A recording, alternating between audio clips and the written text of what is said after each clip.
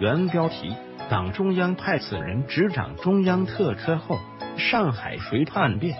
没一人不被党中央掌握。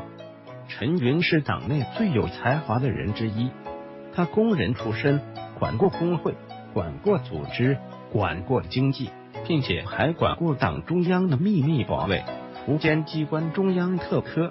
陈云掌管中央特科有多厉害？党内上海，只要谁向国民党告密、自首或者叛变，他都能了如指掌，不差毫厘。叛徒没一个人不被党中央掌握，这个本事可不是一般人能有的。陈云是于一九三一年担任中央特科书记的，当时负责中央特科的顾顺章、向忠发先后叛变，周恩来去了中央苏区。陈云受命于危难之际，他接手负责中央特科后，很快就能在第一时间掌握党内谁叛变、告密、自首。陈云为什么有这个本事？因为他向上海国民党市党部派遣了一个地下党。当时国民党上海市党部的组织部部长是吴开先，他与陈云、沈寿亚都是青浦县练塘镇同乡。有趣的是，吴开先是国民党，陈云和沈寿亚却是共产党。吴开先破坏中共的手法，就是发动共产党员自首，发展内奸。陈云于是派沈寿亚以同乡身份找到吴开先谋求工作，结果不明就里的吴开先便安排沈寿亚在组织部担任了文书工作，这样。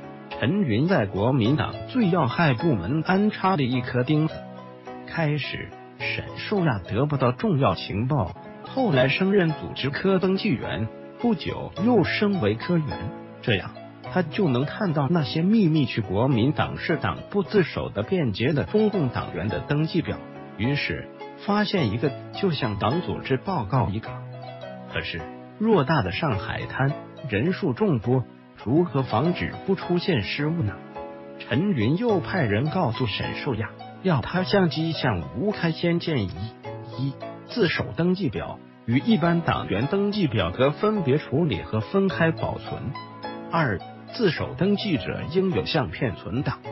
结果沈寿亚一提建议，吴开先一一采纳，并且还升调沈寿亚专职保管自首登记表，以后。沈寿亚定期向陈云报告党员和革命团体成员是国民党组织部秘密自首登记者的姓名、职务、年龄等，必要时还提供出自首者的相片。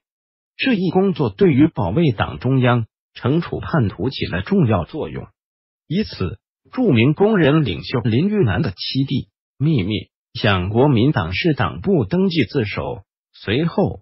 敌人不止他继续与林玉南来往，以通过林玉南与人的交往，把党内领导人一网打尽。党中央得到沈寿亚的密报后，要求他将此人登基的存底和相片弄出来作证。结果沈寿亚果然弄出来了，于是叛徒得到了应有的惩处。陈云这一招厉害不？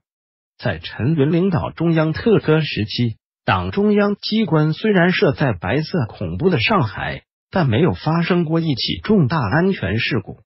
由于工作有方，一年后，陈云调任全国总工会党团书记，并进入临时中央政治局担任常委。陈云时年才二十七岁，返回搜狐查看更多责任编辑。